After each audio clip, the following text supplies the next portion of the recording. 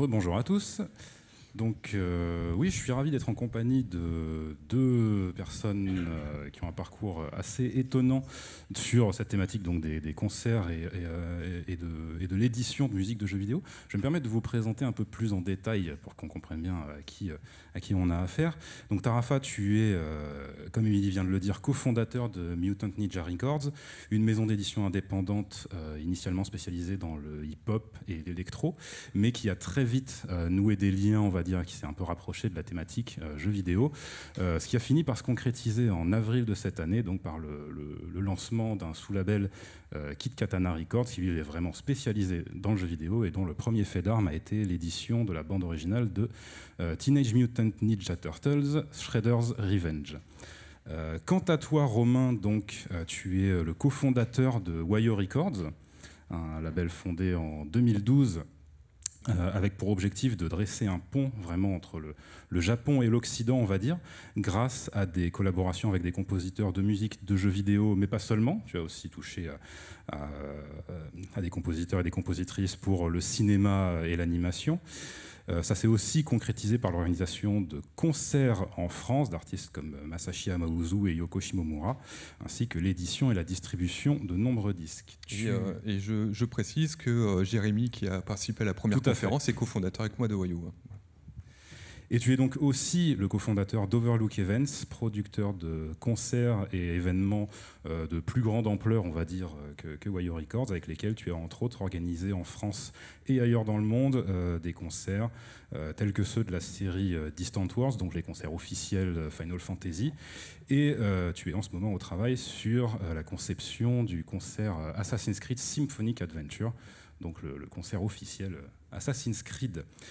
Euh, pourquoi ça me semblait important de rappeler vos parcours? Parce que finalement, vous avez tous les deux euh, démarré vos premiers labels à peu près euh, en même temps. Et euh, ce qui est étonnant, c'est que, bon, à l'échelle mondiale, euh, les premières éditions euh, de musique de jeu, les premiers concerts de musique de jeu, on en a parlé beaucoup tout au long de cet après-midi. au Japon en particulier, ça a commencé très tôt, dès les années 80. Par contre, en France, ça a été beaucoup plus tardif. vers la fin des années 2000, en fait, c'est arrivé. Et finalement, bah, tous les deux, vous vous êtes retrouvés euh, être en quelque sorte des pionniers sur, euh, sur, sur ce domaine. Et du coup, reste savoir, bah, précisément par rapport à tout cet historique des concerts et de l'édition de musique de jeu, euh, quel a été votre, votre parcours personnel et est-ce qu'il y a des, des, modèles, on va dire, dont vous vous êtes inspiré pour, pour, pour les aventures dans lesquelles vous vous êtes lancé?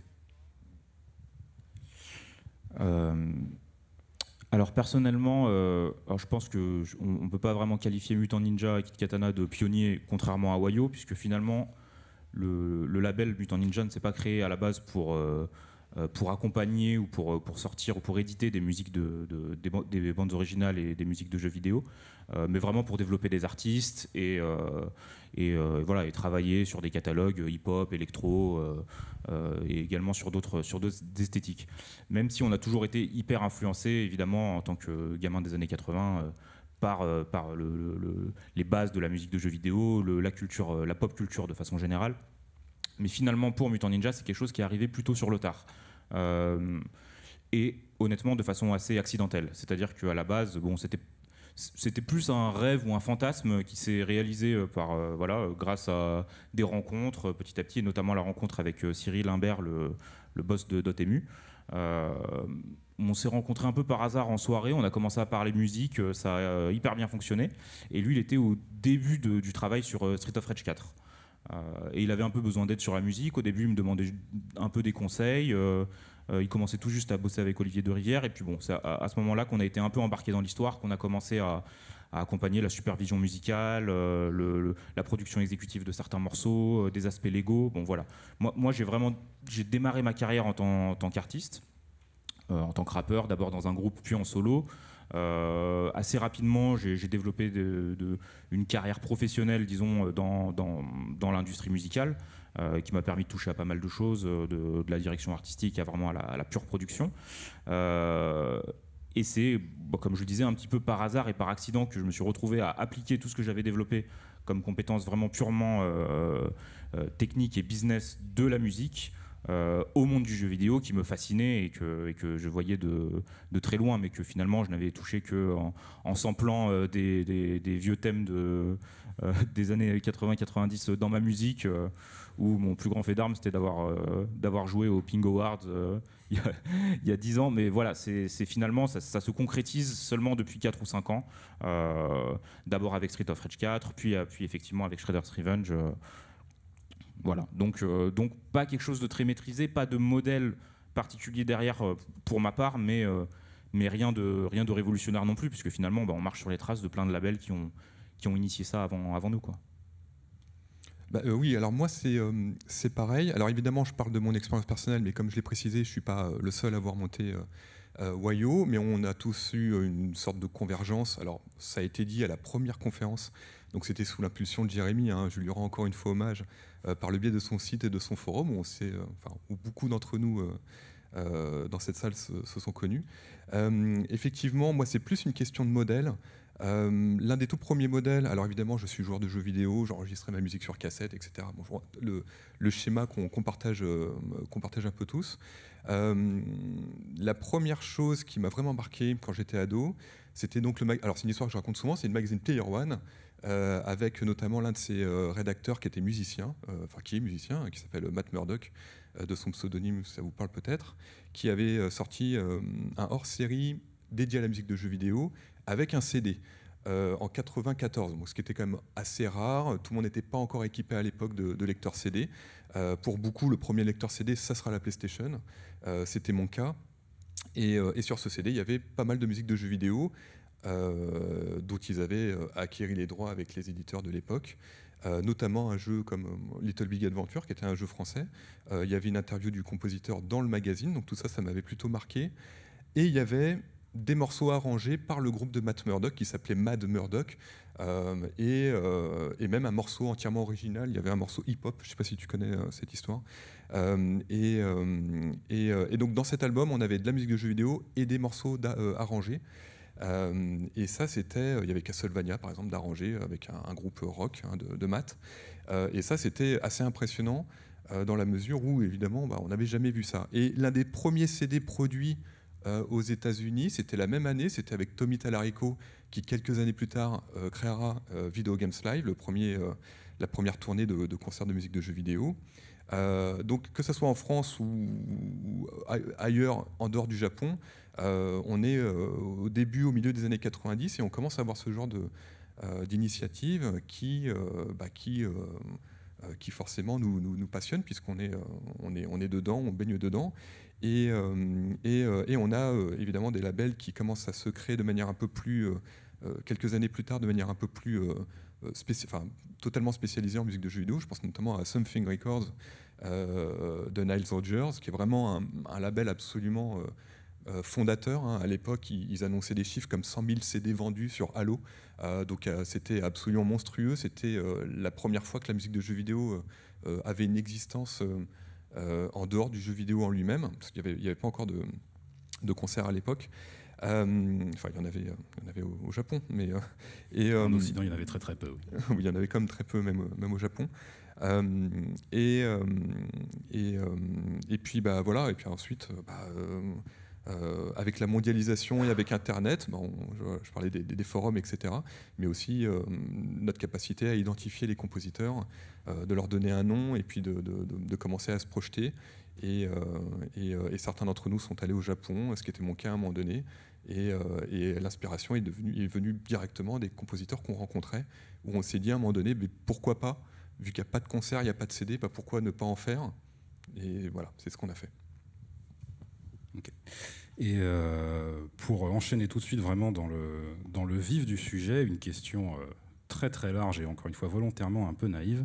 Euh, tout simplement, quand on édite un, disque, ou un album, on va dire, de musique de jeu, parce qu'évidemment le disque aujourd'hui n'est plus forcément le, format préféré par, par, les consommateurs, mais quand on, édite un album ou quand on organise un concert de jeux vidéo, à qui on s'adresse? Qui est le public cible? Alors sur, euh, la partie vraiment sur l'édition pure et sur l'exploitation, on va dire commerciale d'une BO, euh, euh, d'une BO de jeux vidéo, aujourd'hui, de mon expérience et, en dépit de, nos rêves les plus fous, la cible, ça reste quand même avant tout les joueurs du jeu. En tout cas, je, parle pour les nouveautés, en l'occurrence. donc, si je reprends l'exemple de, Street of Rage ou plus récemment de Shredder's Revenge, bon, clairement, la, la, cible, ça reste, ça reste, ça reste les joueurs du jeu. Hein. Donc, même si on, et c'est une grosse partie de l'ADN de Kit Katana et de notre volonté de, justement d'amener la musique de jeux vidéo vers une audience plus large, de créer des ponts entre euh, la musique euh, dite euh, grand public, mainstream, donc des artistes qui ne viennent pas de l'univers du jeu vidéo, mais de le ramener comme on a fait avec des membres du Wu-Tang sur Shredder's Revenge ou Mike Patton de Face No More.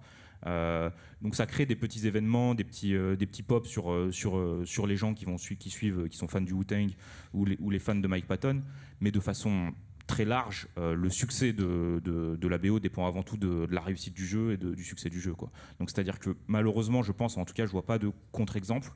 Euh, une, euh, une BO, je vois pas de gros succès de BO sur un jeu qui s'est complètement planté, qui est mauvais, qui n'a pas de, qui, voilà, qui n'a pas de, résonance culturelle et commerciale. Quoi.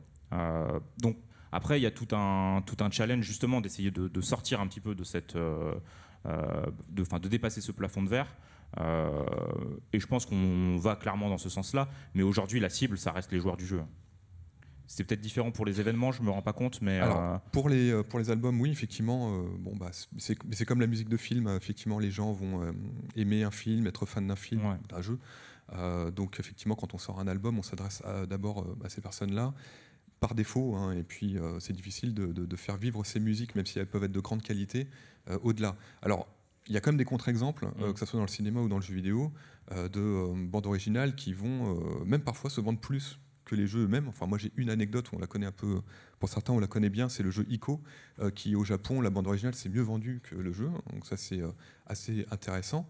après il faut savoir que la, compositrice Michiro Oshima, elle, a aussi une, une, popularité qui fait que son travail a pu être mis en avant plus facilement que si c'était un compositeur, une compositrice inconnue. Euh, on a des exemples avec des films comme, euh, comme Titanic. Hein. Je pense qu'à un moment donné, même les gens qui n'étaient pas forcément fans de ce film, et donc il y a d'autres exemples hein, que je pourrais citer, vont. L'une des BO les plus vendues de l'histoire aux États-Unis, je crois que c'est The Woman in Red, ou The Red Woman, je ne sais plus. je ne sais pas si ça parle à beaucoup de gens. C'est une BO. c'est un, un, super album de Stevie Wonder. plus personne ne se rappelle du film. Euh, c'est l'une des BO les plus vendues euh, de l'histoire des bandes originales aux États-Unis. Euh, donc ça, ça illustre effectivement qu'il peut y avoir des contre-exemples. Et, dans le jeu vidéo, bah, ça peut être le cas quand, par exemple, on va attacher un interprète célèbre à un jeu. C'était le cas de Final Fantasy VIII. Alors, je suis désolé, j'ai plus le nom de l'interprète en tête, mais quelqu'un va me la citer. Fei Wong, voilà, qui avait vendu des singles à plus savoir qu'en faire. Je pense que la plupart des gens qui grande majorité des gens ayant acheté ce single n'étaient pas nécessairement des joueurs. Euh, donc euh, de ce point de vue-là, voilà. Mais ce sont des, ce sont des exceptions parce qu'effectivement, bon, bah, euh, on s'adresse avant tout aux joueurs et toutes les tentatives de faire autrement échouent. Hein. On fait des albums piano, par exemple. Hein. Peut-être que je vais un peu vite, mais quand on fait des albums piano, on se dit qu'on pourrait avant tout s'adresser à des amateurs de piano, de, du répertoire classique, etc. Mais en fait, non. Quoi qu'il arrive, on va toucher les joueurs. Après, il y a peut-être une un axe et une possibilité de, développement via les plateformes de streaming euh, aujourd'hui, via les playlists qui permettent aussi de, bah, créer un peu de, découverte euh, et d'aller chercher les audiences d'artistes, enfin voilà, comme parler d'artistes invités, euh, et d'aller chercher les audiences de ces artistes au-delà de la sphère de la sphère des joueurs, quoi. mais oui, effectivement c'est avant tout la prolongation de l'expérience finalement du joueur, hein, et le fait d'aller acheter la BO, de l'écouter quoi. Et euh, sur les sujets des, concerts, alors notamment, il je voudrais avoir ta réaction, Romain, par rapport à quelque chose de, euh, très intéressant euh, qui a été évoqué pendant l'entretien de Fanny avec Kayane qui a ouvert cet après-midi. On voit aujourd'hui que les concerts de musique de jeux vidéo commencent à, intéresser et à être organisés par des institutions, on va dire, classique, entre gros guillemets. Il y a eu effectivement le cas de, la Philharmonie de Paris, mais même en France, il n'est pas le seul. Il y a eu aussi l'Orchestre symphonique de Bretagne qui a fait quelques, quelques initiatives en ce sens. Euh, l'Orchestre national de Lyon qui va en faire une l'année prochaine. Euh, très récemment, on a vu aussi la musique de jeu apparaître au Corégie d'Orange. Donc les Corégies d'Orange, pour ceux qui ne connaissent pas, c'est l'un des, des, plus grands festivals d'opéra au monde qui se déroule chaque été au Théâtre Antique d'Orange. Et toi, évidemment, tu n'es pas trop dans ce milieu-là, vu que tu es un producteur privé. Mais du coup, quel est ton, ton, point de vue par rapport à ces, à ces concerts? Et est-ce ah que, bah, d'après toi, il y a vraiment un mélange des, des, des publics qui se crée grâce à ça? Oui, et c'est bien heureusement. Alors effectivement, je pense qu'il y a un mélange d'effets générationnels. C'est tout simplement des gens qui arrivent aux responsabilités dans, des orchestres ou dans des institutions euh, qui sont euh, euh, des institutions institutionnelles, pardon, c'est un peu redondant, mais vous voyez ce que je veux dire C'est des gens qui ont connu le jeu vidéo en grandissant avec et qui ont moins d'a priori. moi, il y a quelques années, j'ai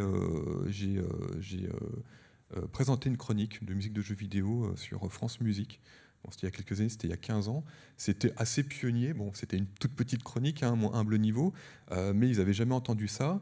Mais à ma grande surprise, tous les, présentateurs, euh, euh, les, animateurs de, France Musique avec qui je passais à Radio France, c'est des gens qui avaient qui étaient parfois pas beaucoup plus vieux que, pas beaucoup plus vieux que moi, et qui euh, connaissait le jeu vidéo. Et euh, il y avait notamment Émilie Munera, si vous écoutez Radio France, qui est une, animatrice assez, euh, assez régulière, qui, qui, bah, qui m'avait dit ouais, je, je, connais Final Fantasy, je les ai tous finis, etc.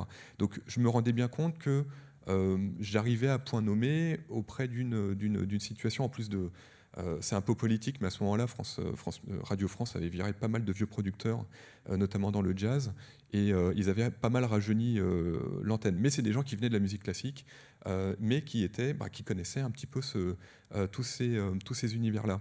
Et donc il y a cet effet générationnel qui est totalement mécanique, hein, il n'y a pas de plus d'explication que ça. Ensuite, il y a, en, ce qui concerne la philharmonie, si je ne me trompe pas, c'était le London Symphony Orchestra qui, était venu jouer. Euh, qui, a, euh, euh, bah, qui, jouait déjà ce programme auparavant, produit par un producteur allemand qui s'appelle Thomas Bocker, qui fait partie aussi des inspirations de, de hein, bien sûr, qui a produit des très beaux albums et des très beaux concerts comme Symphonic Odyssey, Symphonic Fantasies en Allemagne, et puis après il travaille avec le, a avec le London Symphony Orchestra, et c'est le, London Symphony Orchestra qui a aussi joué euh, entre, guillemets, euh, comment dire, de sa popularité euh, pour amener cette musique dans d'autres salles que, les salles dont ils sont les, résidents à Londres.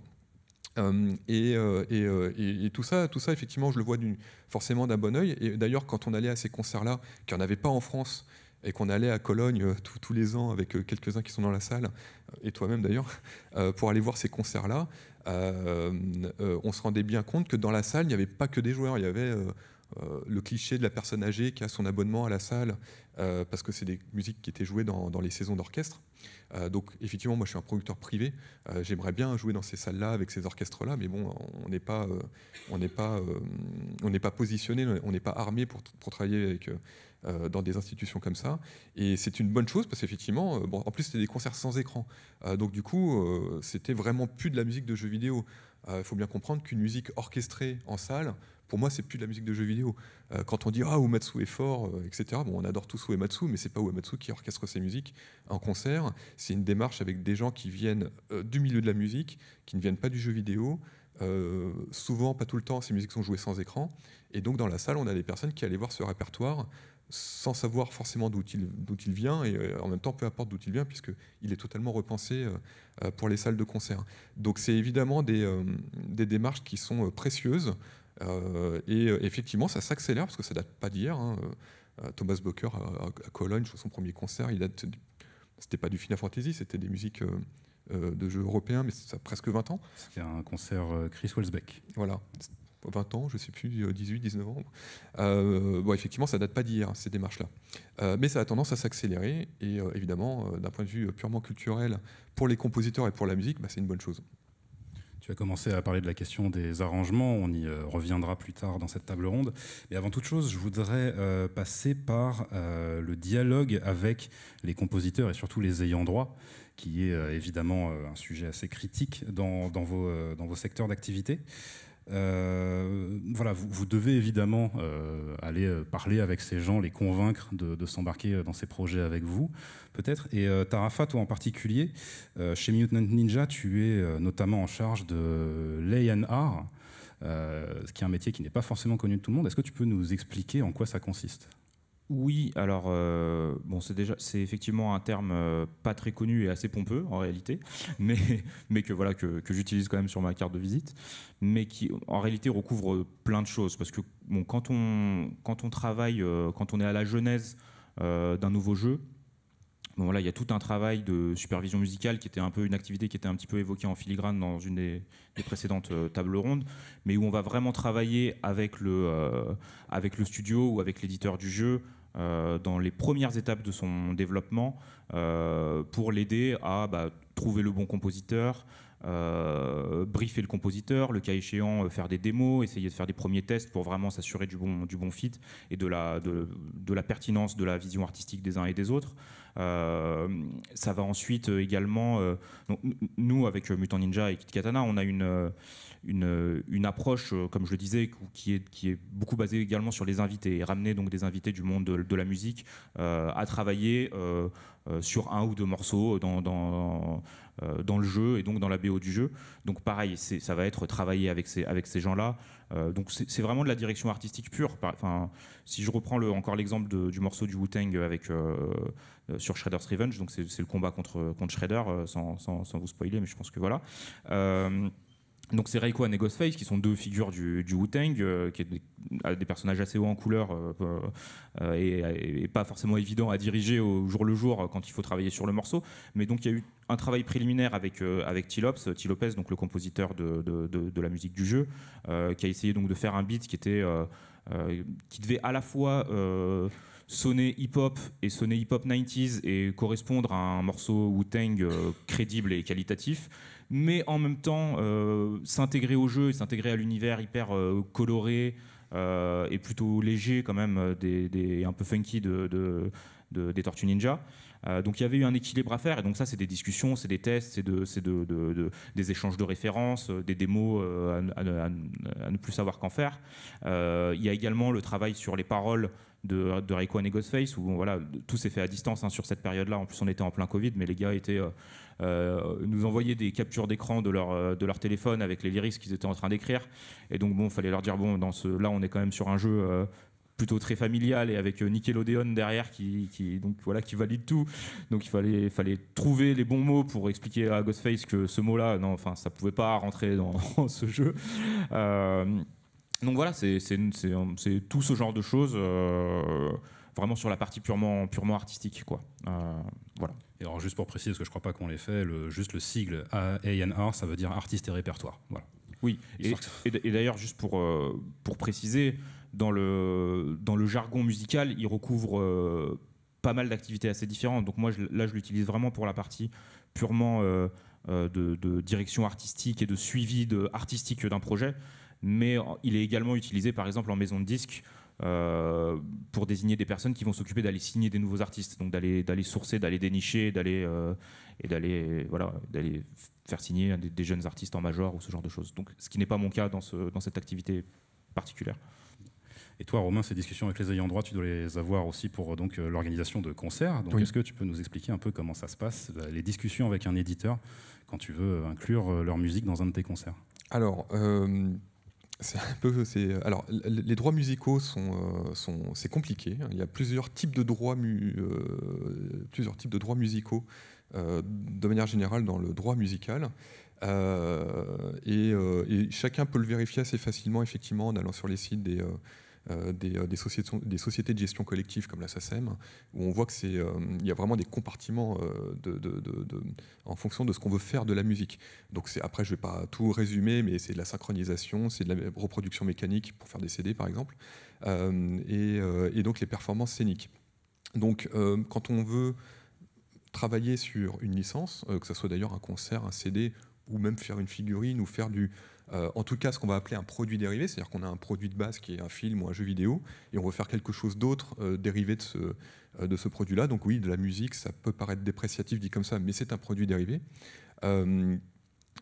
quand on l'exploite à part, hein, encore une fois, évidemment la musique fait partie intégrante d'un jeu, mais quand on fait un concert ou un CD, ça reste du... et souvent c'est des formulaires de merchandising hein, qu'on reçoit quand il faut remplir des formulaires.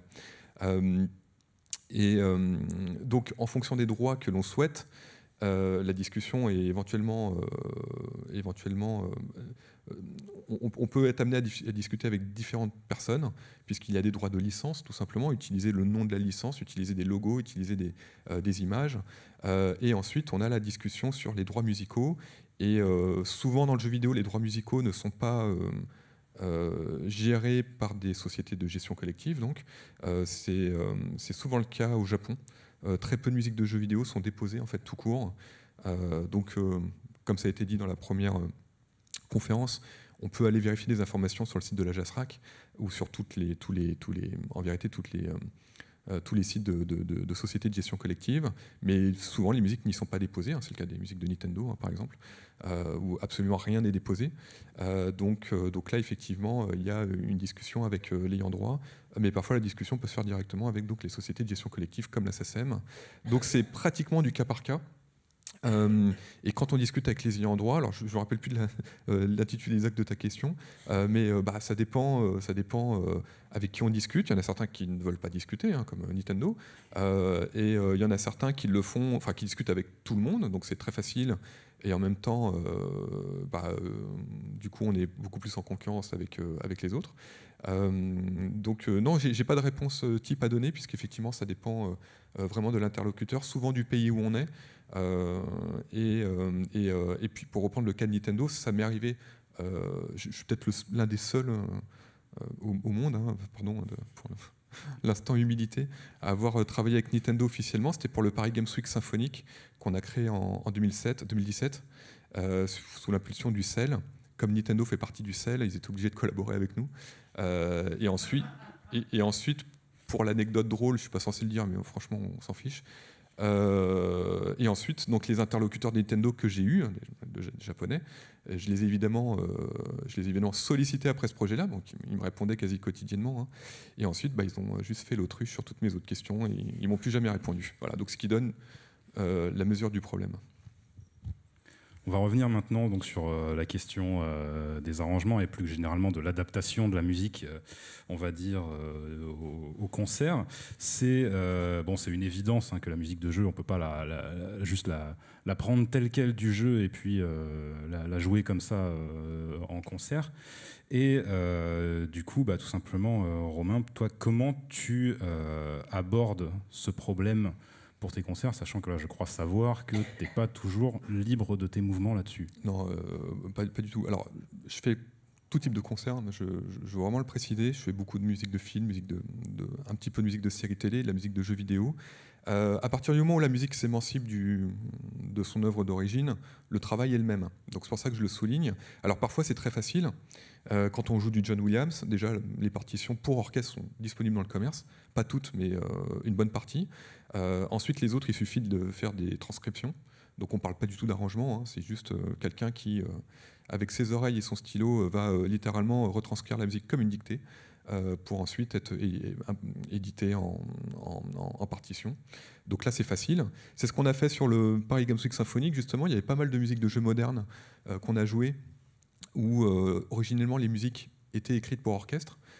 donc on avait reçu quelques partitions, mais on a fait beaucoup de relevés euh, à l'oreille, euh, parce que parfois bah, on ne nous a pas envoyé les partitions. Euh, donc là, c'était vraiment des transcriptions. Il n'y avait pas grand-chose à changer pour que la musique soit jouée ensuite par l'orchestre qu'on avait sur scène. et parfois, il y a une vraie notion d'adapter la musique quand, quand, bah, quand cette musique est par exemple un petit peu vieille, c'est une musique rétro, etc. Où là, effectivement, on va faire intervenir des notions d'orchestration. Donc on va prendre une musique initialement pour, je sais pas, une musique de Super Nintendo par exemple et on va la faire jouer par 70 euh, musiciens sur scène. Donc là, il y a un travail d'orchestration qui n'est pas forcément un travail d'arrangement, parce que ce n'est pas la même chose. Euh, euh, et, parfois, on va peut-être essayer de, changer un peu la manière dont la musique est structurée. on va essayer de,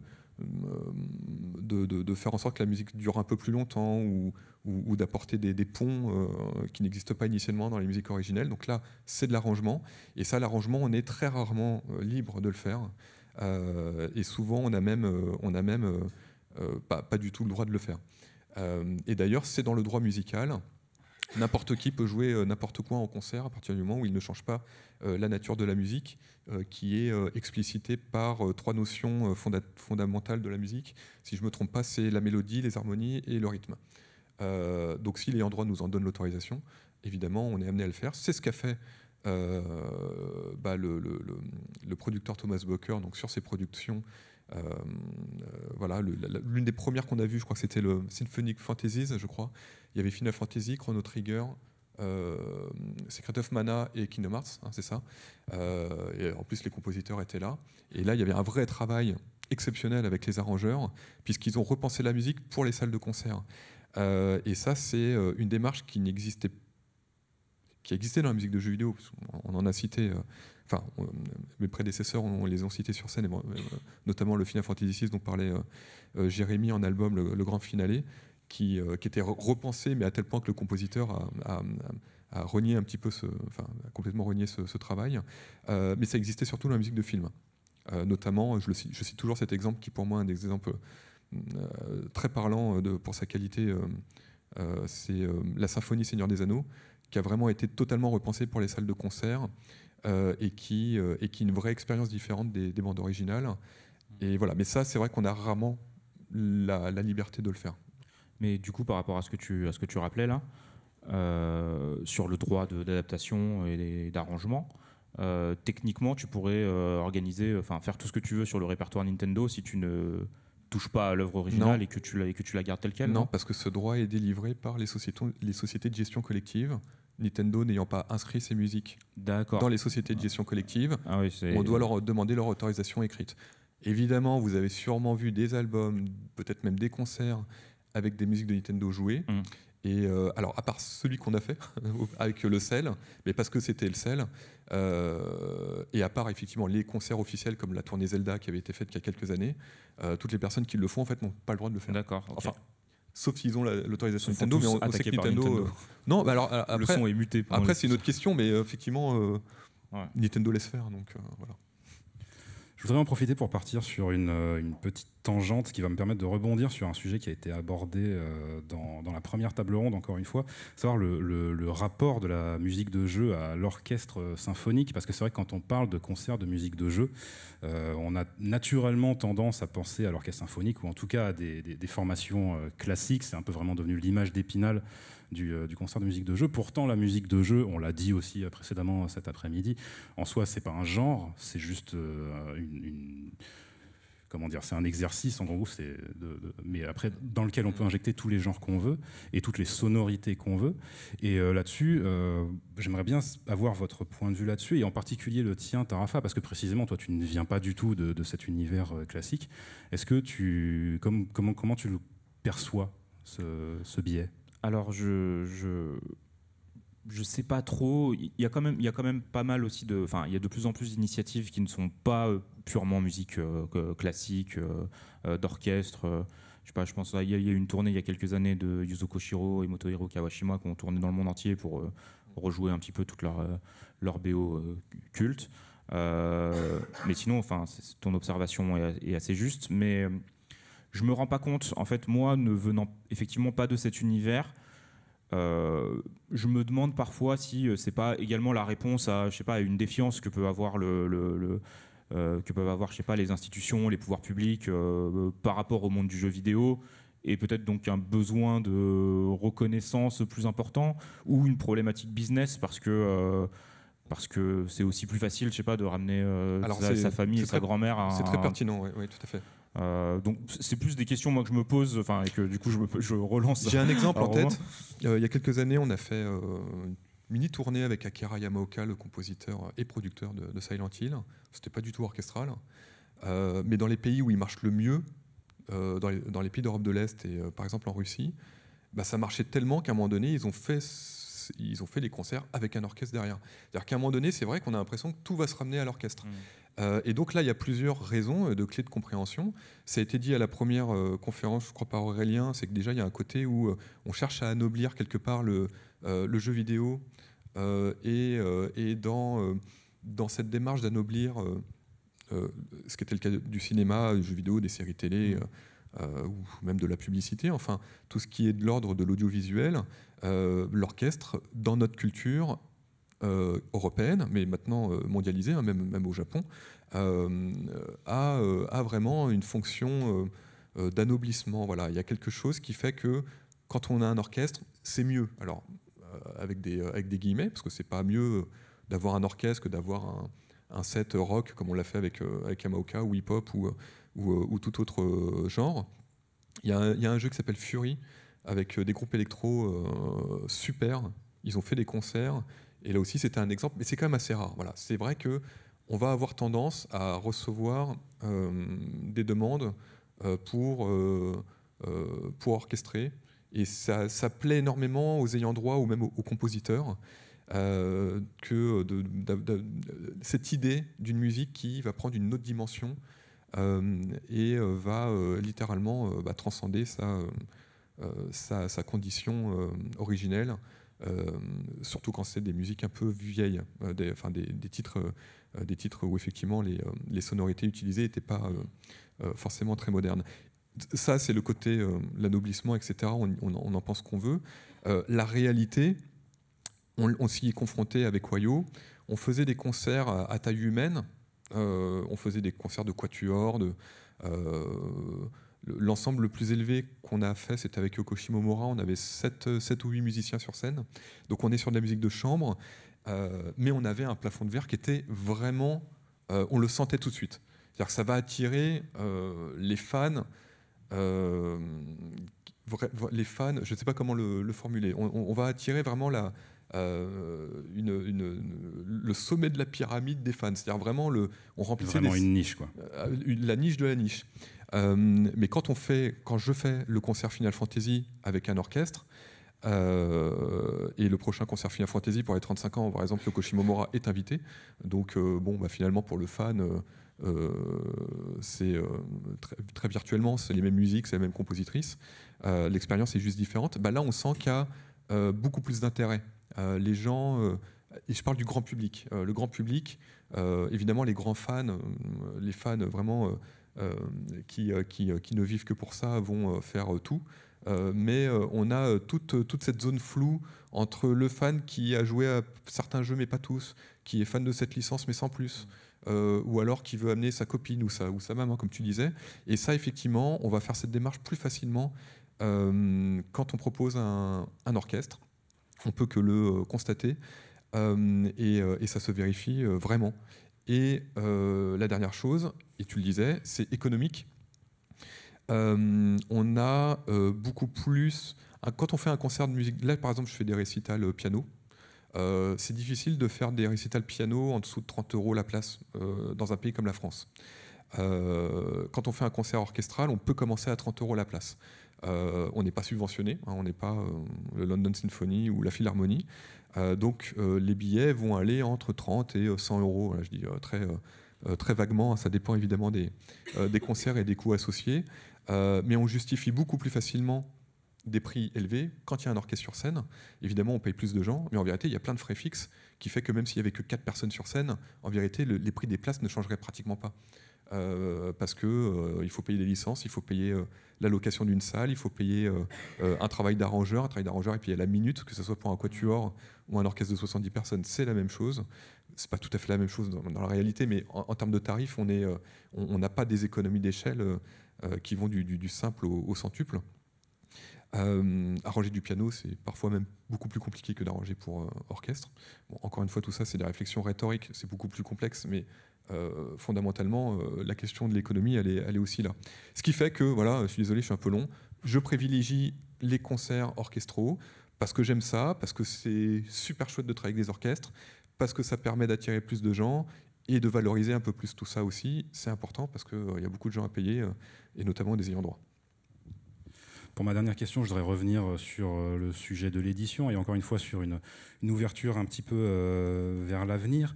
Euh, on a vu quand même dans les années 2010 euh, en particulier ce marché euh, exploser de façon assez spectaculaire, à tel point qu'aujourd'hui, quelque part, c'est limite l'exception qui confirme la règle quand un jeu sort sans avoir sa bande originale associée, en particulier grâce aux plateformes de streaming qui permettent une distribution beaucoup plus facile et, moins coûteuse. D'après vous, qu'est-ce qui reste à faire sur ce, marché? Est-ce qu'il y a encore des manières d'innover vraiment dans la façon dont on distribue et on publie la musique de jeux vidéo? Euh, oui, je pense qu'il y a des façons d'innover euh, et des pistes, mais il y a aussi des façons bah, d'améliorer les choses. Euh, tu parles du streaming, mais le vinyle qui, qui, porte énormément le marché de la BO aujourd'hui. pas que de jeux vidéo d'ailleurs.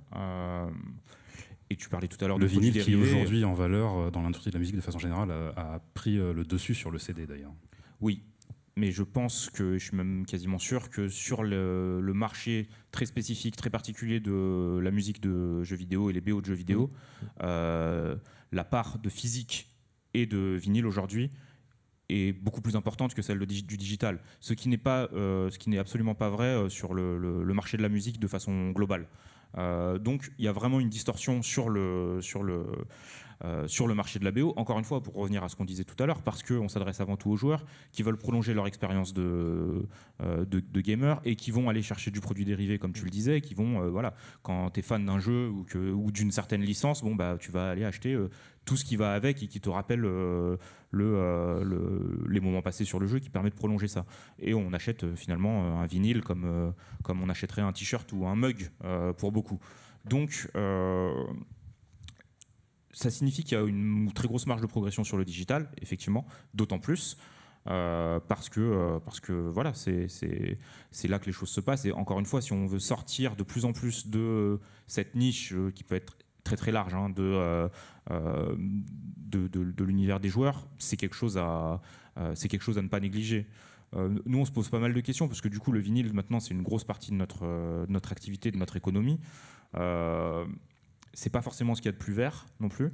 donc il y a pas mal, on se pose beaucoup de questions, on discute pas mal avec notre distributeur physique, qui a essayé de trouver à l'avenir des alternatives qui sont un peu un peu moins pire pour la planète, quoi, disons. Euh, et je pense que ça, c'est des choses qui vont, ouais, qui vont, j'espère euh, qu'on va réussir à faire bouger dans le bon sens, mais c'est encore, c'est encore un petit peu figé, quoi. Et puis après, de façon générale, bah, c'est des choses, euh, voilà, c'est ramené aussi dans, le, dans les castings de, de toutes les équipes qui bossent sur la musique de jeux vidéo externes et les invités qu'on ramène, c'est aussi ramener plus de diversité à tous les niveaux. Enfin voilà, je pense, il y a plein de pistes d'amélioration pour nous sur ces différents niveaux. Quoi. Merci beaucoup, messieurs.